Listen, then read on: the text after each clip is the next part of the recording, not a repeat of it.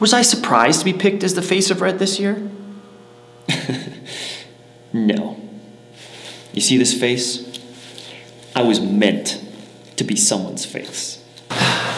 Listen, I know I ask every year, but I think it's a pretty valid argument. I don't see why I can't wear it. I show up at the ski hill every day with my toque on. All right? I think it makes it easier to recognize me. If you ask me, it's a dumb rule. Wow, that was incredible. He's perfect for this role. Dude, he nailed it. Wait a minute, I'm, I'm just here to get my picture taken for my ski pass. Is this like an audition or something? I think it was my energy that really captured them. That and the fact that I obviously love it here.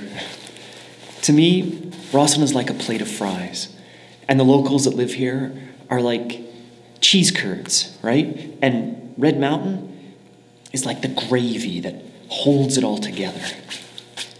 Hey, can we get some poutine before we shoot?